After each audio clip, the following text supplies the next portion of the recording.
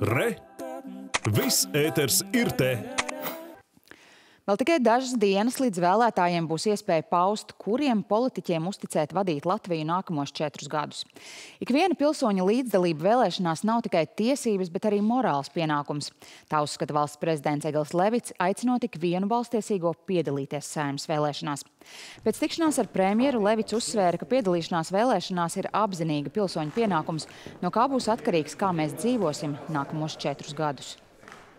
Neatstāsim šo lēmumu citiem, bet piedalīsimies paši un ar savu balsi veidosim mūsu Latviju nākamajos četros gados. Katra balss ir svarīga un var gadīties arī, ka katra balss var būt izšķirīga.